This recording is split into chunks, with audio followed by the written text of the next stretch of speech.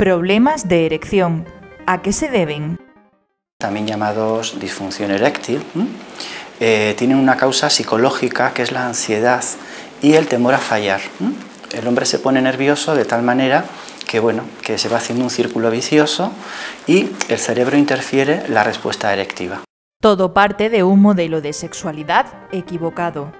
El hombre tiene un conflicto interno en que quiere satisfacer a la mujer, eh, siente que si no tiene una erección, pues su masculinidad está en cuestión y como el modelo de sexualidad está muy centrado en la penetración, evidentemente pues no se puede llegar a esa práctica erótica.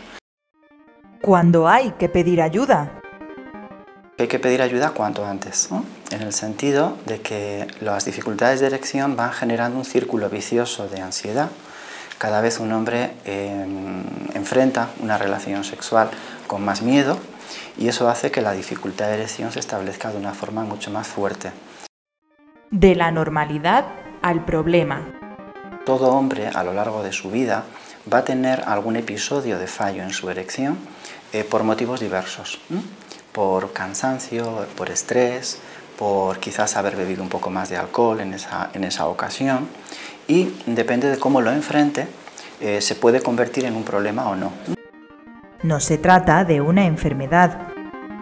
Las dificultades de erección suelen tener una causa en la ansiedad, un factor de tipo psicológico. Si un hombre puede, por ejemplo, eh, masturbarse de forma individual sin ningún problema, eso podría ser una señal inequívoca de que no existe una causa física. Por lo común, yo diría en un 90% de los casos, eh, no existe una etiología, una causa de tipo orgánico.